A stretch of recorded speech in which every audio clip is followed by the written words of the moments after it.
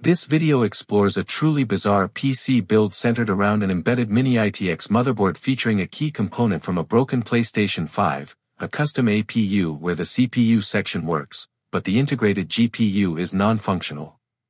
This unique board comes with 16 GB of soldered, non-upgradable RAM and a couple of oddities, including no M.2 NVMe slot, forcing the use of a standard SATA SSD for storage.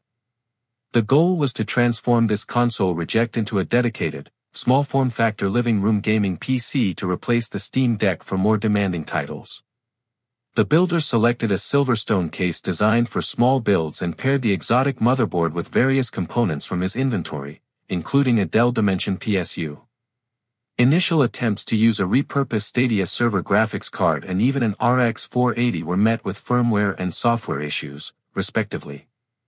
Ultimately, to achieve powerful gaming performance, the build was upgraded with an incredibly overkill Radeon 6950 XT graphics card, which surprisingly fit in the compact case.